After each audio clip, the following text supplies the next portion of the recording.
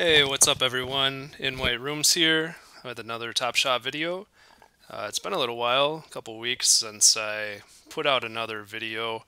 Um, I did record one last week. We actually had a little bit of a pack ripping party uh, with the Seeing Stars packs that um, most of my little group was able to receive.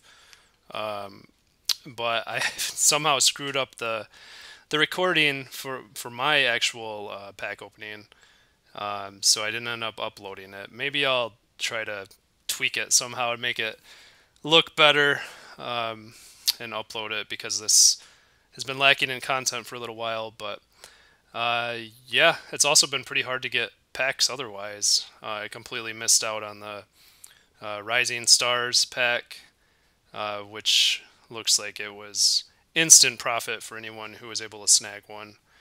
Um, but we did get these pre-order packs today.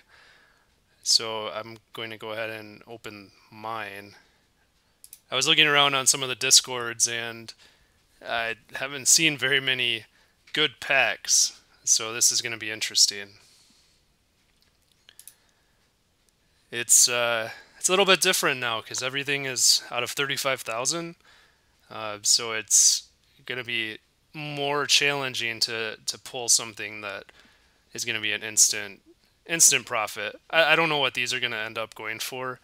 Uh, maybe every pack will still be plus EV, or it's very possible that you know some of these commons will just get down to one or two dollars like they used to be uh, before everything blew up. So we'll see. Uh, there are some rookies that are sprinkled in. Um, like we would love to get the Immanuel Quickley uh, from the New York Knicks. He's probably the best rookie we could get.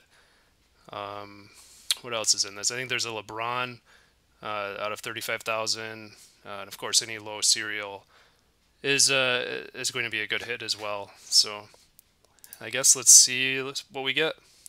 Wow, there's a low serial, 781 for Duncan Robinson. How about that?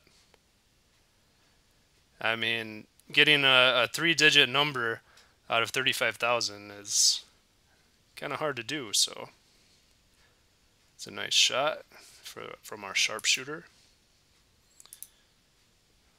Okay. A Joe Ingles three-pointer. All right, so we've got two three-pointers. Why not?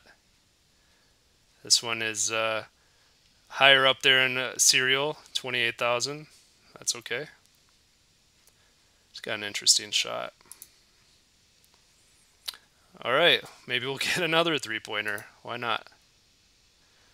That's pretty low serial. Eric Paschall. It's a layup, not a three. but that's okay. That's a, that's a decent serial. So, yeah, that's my pre-order pack.